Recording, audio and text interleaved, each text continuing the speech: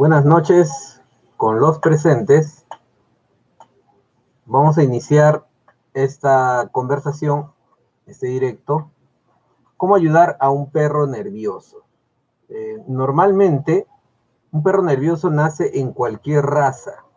Es decir, no hay una raza específica donde salgan perros nerviosos, aunque las razas más conocidas siempre tienen un representante, por lo general, nervioso, son los chihuahuas, son los perros pequeños, el perro calato de Perú también. Hay varias razas que de por sí no tienen eh, mucho temple y son nerviosos, pero un perro nervioso puede nacer en cualquier raza. Se dice que la raza más estable, más equilibrada es el pastor alemán. Sin embargo, nacen pastores nerviosos, eh, labradores nerviosos, golden retriever nerviosos, donde se supone que son los más estables. Nacen pueden nacer en cualquier raza. ¿Cómo los ayudamos? Es fácil identificar a un perro nervioso desde cachorro, porque cuando tú lo tocas, a veces le pones la mano encima y se hacen la pila. No controlan las esfínteres y se orinan.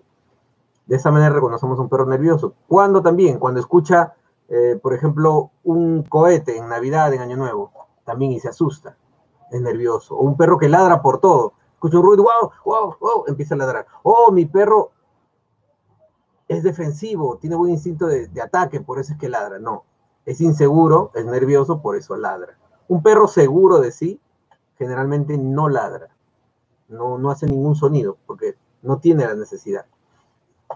Entonces, ¿cómo los ayudamos? Una vez que ya los identificamos, tenemos que tenerles bastante paciencia.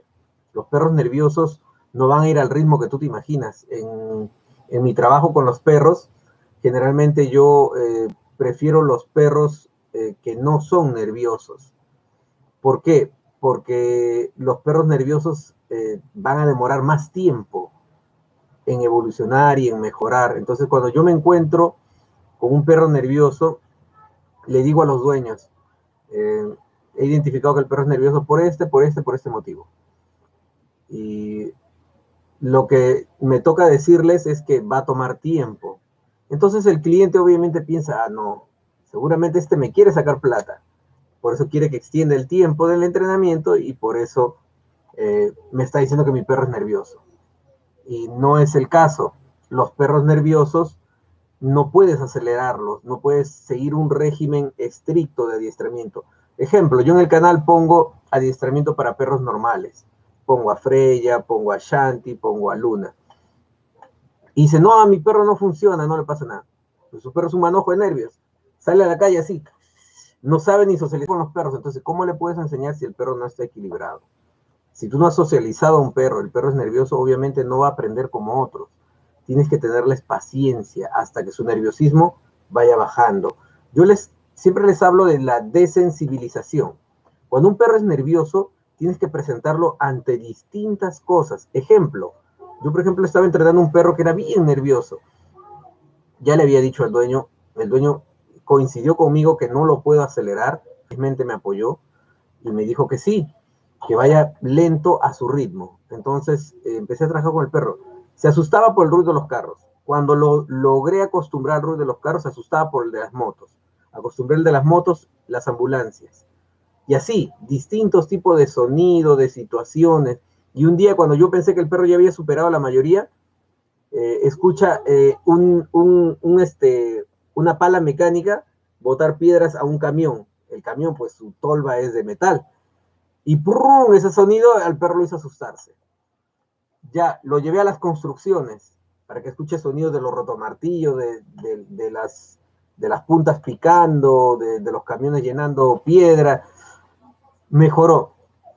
Y un día en un semáforo, acá en Perú, este, en los semáforos algunas personas hacen malabares o se disfrazan. Ve a un hombre disfrazado, bailando, y el perro se asustó, ¿no? Entonces, a un perro nervioso lo tienes que presentar ante distintas situaciones, distintos escenarios. ¿Por qué? Porque todo le puede causar eh, miedo. Y el miedo no es bueno. El miedo siempre lo va a llevar a la larga el nerviosismo, el miedo, lo lleva a la agresión. Así que si tú tienes un perro nervioso, lo más probable es que acabe siendo agresivo. Por eso hay que resolverlo, hay que sacarlo a distintos tipos de situaciones, distintos tipos de ruido, distintos tipos de escenario. Es decir, tienes que sacar más a tu perro. Si tienes un perro nervioso, tienes que tener mucha paciencia, no va a ser como cualquier otro perro. Así que eh, mi recomendación para los que tienen perro nervioso es que lo eh, enfrenten a distintos tipos de situación, que le tengan mucha, pero mucha paciencia y que se pongan metas realistas. No, no piensen que el perro va a aprender al ritmo de otros perros. Como en todo perro, lo básico es tener amigos también. Ah, hay perros nerviosos que si sus amigos son estables, le van contagiando la estabilidad y se va haciendo un perro más eh, de más temple, de, de, nervios más firmes. Si nació nervioso, se puede acostumbrar y se puede hacer un perro más equilibrado. Sí se puede, requiere mucho, mucho eh, ejercicio, mucha, mucha paciencia. Muy bien, vamos a quienes están presentes. Hola Carlos, buenas noches. Carlos Israel Zárate. Andy Yomar dice buenas noches, buenas noches Andy. Teodosia ya, Alaya dice hola Aldo, saludos. Hola Teodosia. John Cajahuanca, mi hermano John, ¿cómo está amigo? Eh, dice, hoy sí nos conectamos en los excelente John. Muy bien, voy a contestar las preguntas que ustedes tengan pendientes de este tema o del que ustedes eh, tengan pendiente y me avisan. Voy a contestar las preguntas. A ver, dice John Steven, hola Aldo, dice, hola John, ¿qué tal, cómo estás? Espero que todos bien de salud. Ahora en pandemia tengo que preguntar cómo están porque la mayoría de mis amigos están enfermando. Valentina Zavala dice, saludos, bro. Saludos, Valentina. Ahora les decía, tengo varios amigos que están enfermos eh, con COVID, varios han muerto. Eh, en el mundo del pastorismo, acá en Perú también han, sufrido bajas, pues, ¿no? Este, hace poco ha muerto un, este, el, dueño de, la mamá de Jani, una de mis perras, Oscar Cabaza, ¿no? Una pena que, se haya enfermado y no lo superó, pues, ¿no? Así que eh, cuídense, cuídense bastante. A ver, ¿quién más está por acá? Ricardo Pastrana dice, ¿qué tal Aldo? Hola Ricardo, ¿qué tal? Buenas noches. ¿Qué dicen? ¿Tienen preguntas? Si no hay preguntas, terminamos el directo. ¿O quieren conversar de algo? Dígame. Yo... Alison. Hola. Quería saludar a ¿Cómo están? ¿Bien por ahí, por la casa? ¿Aburridos? Mirando el techo, mm, la luna del carro. ¿Qué hacen, chicos? Ya Lisa hoy día pasó malas noticias. A ver, Victoria Vázquez va a comenzar con las preguntas. Dice, hola Aldo, una pregunta. Dice, ¿qué tarda más adiestrar un perro nervioso o a uno agresivo? Ah, generalmente, Victoria, los perros eh, agresivos es porque son nerviosos. Eh, pero, si digamos, ya tenemos un perro que es nervioso y aún no llegó a agresión, va a demorar menos entrenarlo que un perro que ya es agresivo por nervioso. Es decir, la agresividad en un perro nervioso es como el estadio más alto. Entonces, en ese sentido, es más fácil entrenar un perro que es nervioso y aún no es agresivo. Un perro que es agresivo mm, es porque generalmente ya ha tenido varios, varios meses de ser nervioso, ¿no? Así que más difícil es entrenar a un perro eh, agresivo que uno nervioso. Ah, ya, les estaba contando la, mala noticia de Allison hoy. Lo que pasa es que nosotros eh, habíamos adoptado unos gatitos y ellos viven en el jardín de mi mamá. Mm, constantemente tienen crías porque prácticamente es como en un estado, ¿cómo se puede decir? Natural, salvaje. Pero hoy día habían tres gatitos, tres, tres cachorritos de gatitos que recién tenían unas dos o tres semanas. Y hoy día no habían dos gatitos, solamente había uno, que había pasado que habían muerto dos gatitos, ¿no? Por eso Alison estaba un poco triste. Como siempre, haciendo más, este, más teatro de, lo que se debe. Muy bien. A ver, hay otra pregunta por ahí. ¿Alguien quiere hablar de un tema? Aprovechen que no hay, no hay muchos, este, muchas personas. Pueden hacer las preguntas que deseen. Estamos en buen tiempo y si no, terminamos el directo. Eh, yo sé que esta hora muchos no van a estar presentes. Lo que sucede es que eh, tengo los horarios bien apretados y solamente tengo este momento para, para poder conectarme en directo. Estoy tratando de que sean otros días donde normalmente había más, más personas en los directos, ¿no? Pero lamentablemente no se puede. A ver, Danner dice. A ver, Alison Lero, por favor. Danner dice. Hola Aldo, ¿por qué mis perros cuando empiezan a ladrar empiezan a pelear siendo macho y hembra? Ah, bueno, eso es normal, Danner. Lo que pasa es que el perro cuando empieza a ladrar por algún, algún ruido que escuchó, un perro que vio, una persona que vio y que le pareció extraño, eh, su temperamento que está ahí se eleva. Y en este momento de elevación ya están en modo pelea, en modo cacería, en modo matar. Entonces, al no poder, digamos, coger a quien le están ladrando, se rayan y empiezan a pelearse entre ellos. Es normal, pero no está bien. Es su naturaleza, pero no está bien. Nosotros tenemos que ser capaces de frenar ese instinto, porque está mal que se estén peleando. Más aún que no deberían hacerlo delante tuyo si es que tú eres su líder. Si es que lo están haciendo es porque no se ha establecido bien el liderazgo en tu casa. John dice, bueno, mejor digo, John Steven dice, hola Aldo, saludos desde Pasto, Colombia. Muy bien, John, gracias, gracias por los saludos. Un saludo también para allá, para Colombia. Mi hija tiene la, el sueño de irse a Colombia. Yo también este año, el COAPA, que es la competencia de pastores, eh, tocaba en Colombia. Bueno, aún está programado para noviembre, la competencia en Colombia. Es una competencia de todo Sudamérica de pastores alemanes. Yo pensaba ir, sin embargo, así como están las cosas, me parece que las competencias no se van a reiniciar aún. John, John dice, ¿es recomendable hacer jugar un perro en piscina? ¿Qué se debe tener en cuenta? Ah, John, buena pregunta. La piscina es una buena terapia para los perros. Si es que puedes hacerlo, sería excelente. Mm, yo generalmente eh, recomiendo que tengan mucho cuidado de que eh, el perro pase demasiadas horas en la piscina, porque el, perro por naturaleza sabe nadar, ¿no? Levanta bien la cabeza y todo. Si le gusta la pelota, jueguen con la pelota. Es buena terapia para los perros, más aún si son mayores o tienen problemas en la columna, en la cadera, ¿no? El, el estar haciendo este tipo de ejercicio en el agua les es bastante beneficioso. Omar Alexander dice, Aldo, ¿por qué mi perro Max, cuando un carro de reversa para atrás ladra? Es un golden. Bueno, lo que pasa es que, eh, Omar, hola, ¿qué tal? Lo que pasa es que los perros generalmente, eh, cuando ven algo extraño o un objeto en movimiento, lo consideran como una presa. Tu perro tal vez se asusta y le ladra por eso, o tal vez quiere cazar el carro, ¿no? Lo ve como una presa y cuando retrocede o avanza, se le levanta el instinto de presa. Muy bien, ya no hay comentarios, ya no hay preguntas. Eh, lo que pasa eh, es que la hora no es, no es, tan propicia para muchos, pero uh, por lo menos los que se han conectado, me alegra bastante que hayan estado. Eh, gracias por estar presentes. Y les gustaría que toque otro tema, tal vez. Eduardo Enrique dice. Eduardo Enrique dice, hola Aldo, ¿qué puedo hacer para controlar a mi pastora cuando le llevo al veterinario? Se pone muy nerviosa, empieza a ladrar a todos los perros. Ya, lo que pasa es que eh, cuando nuestro perro es pequeño, tenemos que hacer un, tipo de entrenamiento uh, inteligente. ¿En qué sentido? Tú llevas al perro al veterinario solamente para que se vacune.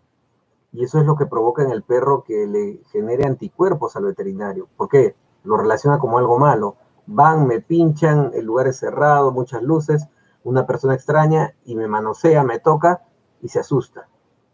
Entonces, ¿qué hago yo? Cuando mi perro es cachorro lo llevo cargado al veterinario. Saludo al veterinario y me voy. Otro día voy al veterinario y con una galletita el veterinario le da. El perro va relacionando dos, tres, cuatro, cinco visitas positivas y en la sexta haces que lo vacune. Ya está.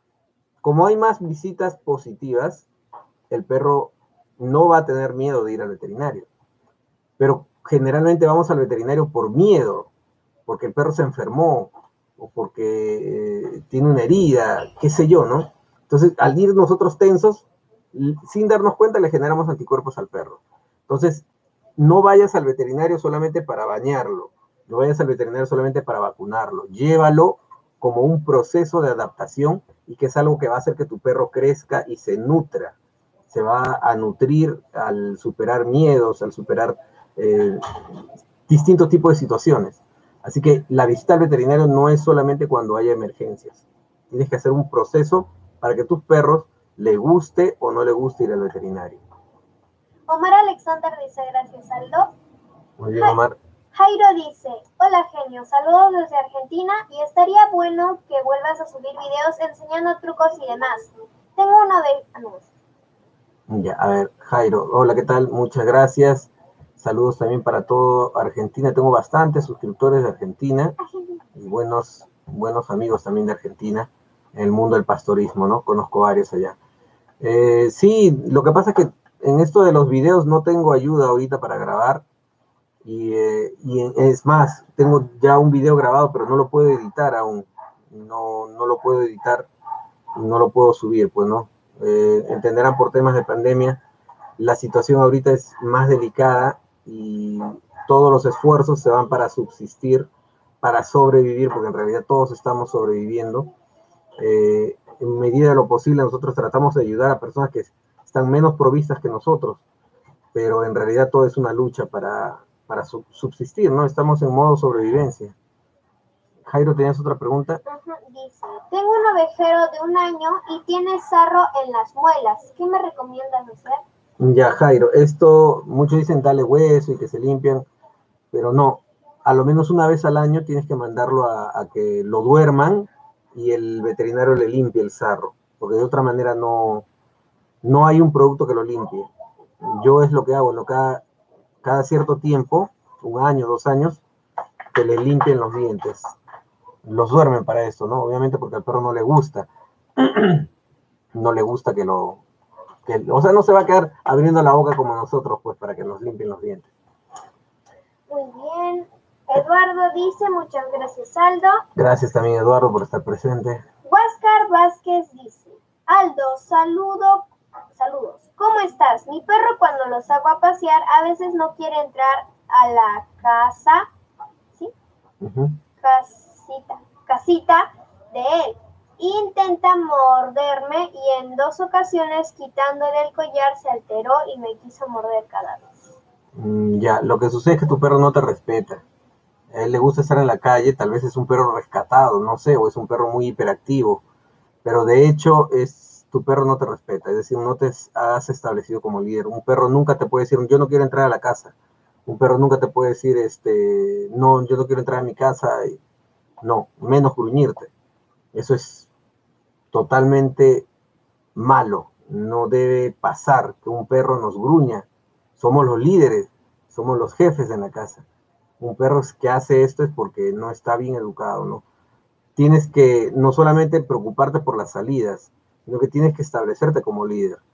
Puedes usar las salidas de una manera de, eh, digamos, eh, reforzar la obediencia y, de, y hacerle entender quién es el que manda, pero nunca un perro que te obedece o que te respeta te va a gruñir, pase lo que pase.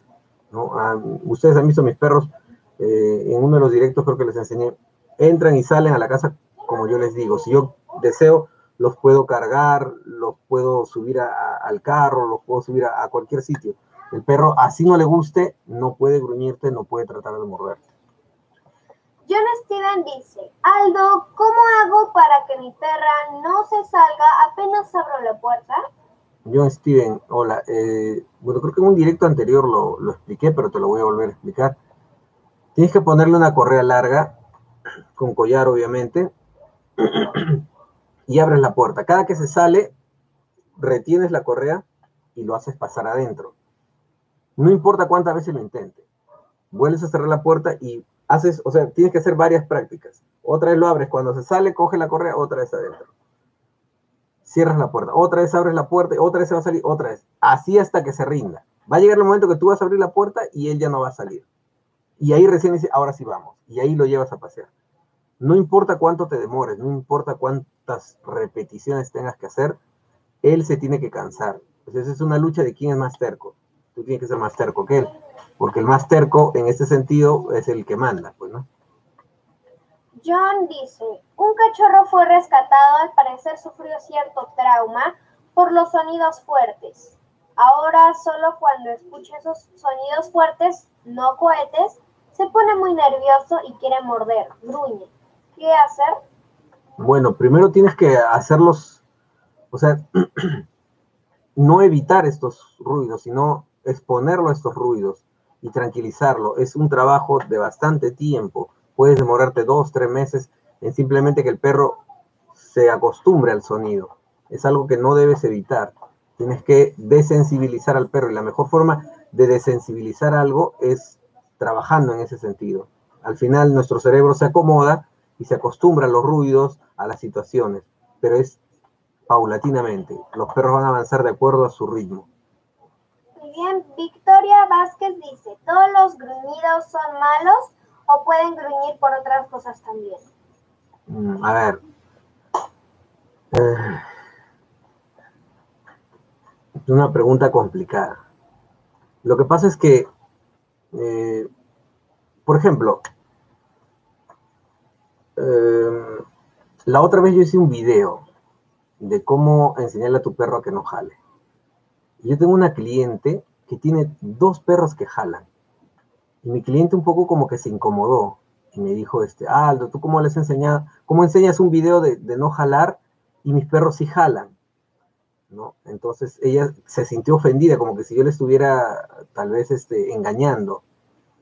Y yo le decía, no, lo que sucede es que sus perros, esos dos perros, salen de la escala normal. Es decir, yo que lo que les enseño en los videos son cosas, digamos, en la escala normal. De ahí vienen un montón de variables, un montón de variantes. Perros que sobrepasan al alfa, llegan a ser super alfa. Perros que no son solamente tercos, son super tercos. Perros que no son nerviosos, son súper nerviosos. Perros que no solamente son inseguros, son súper inseguros. Entonces hay perros que salen de la escala. Y esos dos perros que jalaban salían de la escala. Ahora, los gruñidos generalmente yo te diría, no todos los gruñidos son malos. No todos los gruñidos son malos. Pero si yo te digo eso, tú inmediatamente vas a decir, ah, no, entonces mi perro está gruñendo no es malo. No. Eh, explicaba esto de los, lo de las escalas para que me entiendas que generalmente yo cuando les doy un consejo, trato de darles un consejo general o lo más normal. Y en lo más normal no está bien que un perro gruña. ¿Entiendes? No está bien que un perro te gruñe. Si yo te digo puede gruñirte por otras cosas, tú lo vas a agarrar como excusa. Ah, no, no me está gruñendo por agresión, me está gruñendo por otra cosa. Y hay perros eh, que salen de la escala en todo sentido. Eh, ¿A qué me refiero? Por ejemplo, yo cuando juego con mis perros, permito que a veces gruñan. Y luego, y él también, y jugamos a gruñirnos. Pero este es un modo juego. Mi perro nunca me va a morder. Eh, no va a ser agresión. Pero si yo te digo que sí, que es normal, este, y tu perro te gruñe, tú vas a pensar que es normal. No es normal que un perro te gruñe. La respuesta general, la respuesta normal, es que no está bien que un perro te gruñe. Puede haber el caso que un perro te gruña para jugar, pero hay que saber identificar eso, porque si lo identificas mal, te vas a meter en un problema. Así como los perros que jalan, yo les enseño cómo hacer que un perro se siente, cómo hacer que un perro no jale, ¿Cómo hacer que un perro aprenda esto? En la escala normal. De ahí hay un montón de variables que pronto van a aprender ustedes a identificar, pues, ¿no? No hay una regla absoluta, siempre hay muchas variables. Yo les, trato de enseñar, por decirlo así, lo normal.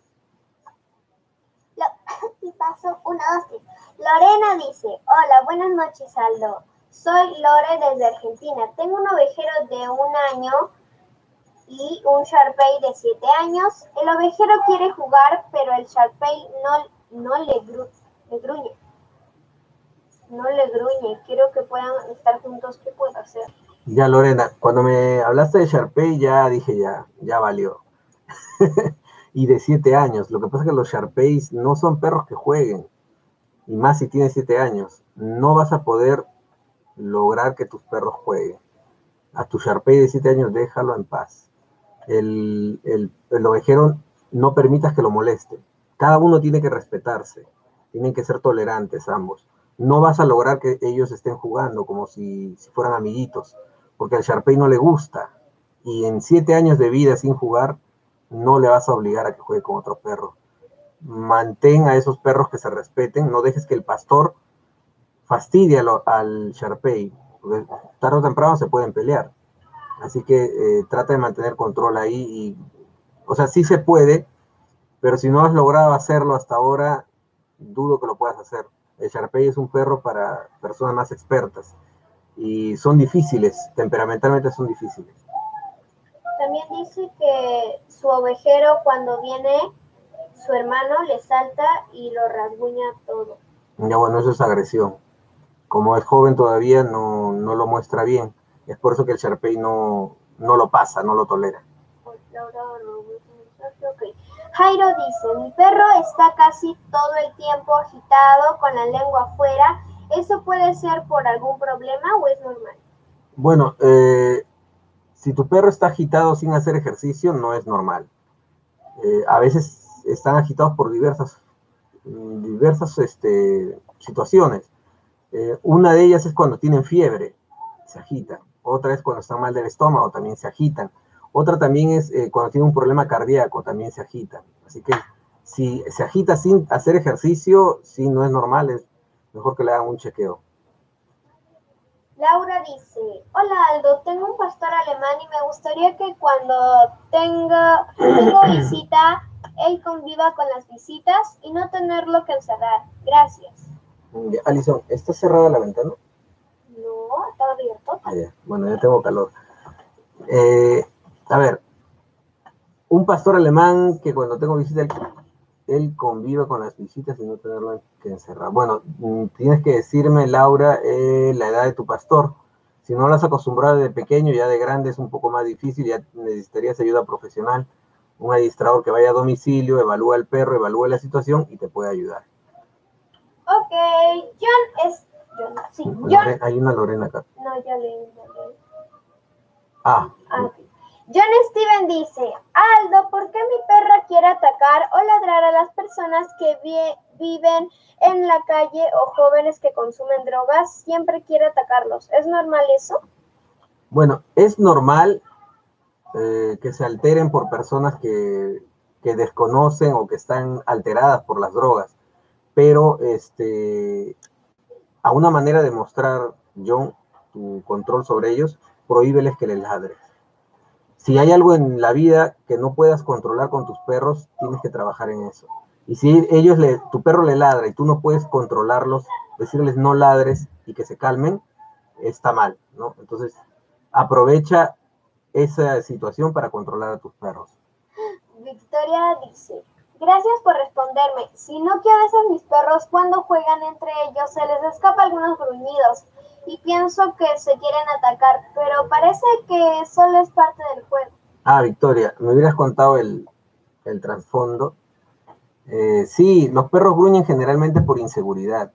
Así que cuando se empiezan a gruñir es porque ya uno de ellos ya no quiere jugar. Así que cuando empiece a haber gruñidos, tú sepáralos ya. No dejes que sigan. Laura dice que tiene dos años el perro. Bueno, si en dos años no has podido hacer que tu perro eh, tenga buena relación con tus visitas, es porque el perro no te respeta y él quiere llevar el control de la casa. Eso también eh, quiere decir que él controla quién entra y quién no entra. Entonces ahí ya necesitas, Laura, ayuda profesional. Un administrador tiene que ir a evaluar no solamente al perro, también a ti, a tu familia, a ver cuál es el problema que ha llevado a que el perro tenga que controlar quién entra y quién sale. Pues, Sharon dice, Hola Aldito y, su hija. Hola. ¿Qué se puede hacer cuando mi pastor alemán macho de seis meses, cuando ya vamos a entrenar en algunas ocasiones, en la vereda de mi casa se acuesta y no se quiere levantar? Ah, gracias por lo de Aldito, Sharon. ¿Qué se puede hacer cuando mi pastor alemán de seis meses? Ya, lo que pasa cuando está regresando y se echa es porque no quiere regresar. Ahí tienes que demostrar tu control y obligarlo a que regrese a la casa, porque si no va a terminar como el otro caso, que el perro cuando regresa a casa ya no quiere entrar y se pone hasta agresivo, ¿no? Un pequeño jalón a la correa y vamos para adentro. Cuando tú digas, las cosas se hacen. Siempre recuerden, ustedes son como Hitler con los perros. Yo digo, se hace esto y se tiene que hacer. No hay, ya bueno, voy a ceder. No. Tú ordenas y él obedece. Así tiene que ser. Aunque parezca duro, de otra manera no nos establecemos como líder y vamos a tener más problemas todavía. Vamos a ver el último comentario porque ya llegamos a los 30 minutos. De nada más comentarios, por favor. Mi amigo John Cajahuanca dice, entré a un grupo de perros como... Entre un grupo de perros, ¿cómo determino quién es el alfa entre ellos? Es verdad que los perros copian comportamientos positivos. El alfa entre ellos puede enseñar al grupo ciertas normas. Sí, en realidad le va a enseñar normas, pero normas salvajes, pues, ¿no? Eh, en, un grupo, ¿cómo reconoces un alfa? El alfa es el perro más equilibrado, es el perro de más temperamento. Generalmente nosotros vemos a un perro, a una manada de perritos, y, y el perro que vemos que ladra, wow, wow, wow, ah, ese es el alfa. No, ese es el más inseguro. Eh, el perro que ladra es por inseguridad. El, el alfa, el, el, más este, equilibrado por lo general, es bien seguro de sí. Y tiene un temperamento fuerte, sin embargo, no lo demuestra ladrando, lo demuestra de otras maneras. Es el que come primero, es el que no se deja molestar. Viene otro a molestarle ¡bum! le mete un mordisco o se pelea, ¿no? Porque no se deja molestar. Esos básicamente son los alfas. Muy bien. Bueno, vamos a terminar a, hoy día ahí el directo. Gracias por estar presente, gracias por sus preguntas. Y Alison quiere presentar a su, a su última adquisición. Oye. Es un cuy. Hemos comprado estos cuyes. Se llama Bayo. Mejorados. Eh, lo que pasa es que estamos criando cuyes y hemos comprado estos cuyes mejorados acá. En Perú hay eh, una entidad del Estado, INIA se llama, y ellos este, están haciendo cursos de cuyes mejorados y ahora le he comprado a Alison sus cuyes mejorados. Suscríbanse y denle like si no me comeréis sus comidas. Cómanselo. bueno, muchas gracias a todos. Muchos saludos por casa. Cuídense. Ya saben que todavía no estamos libres de, del virus y a cuidarse todos. Gracias. Cuídense mucho y si tienen gatitos, no los. Está afectada por los gatitos. Nos vemos. Hasta luego con todos. Chao, cuídense.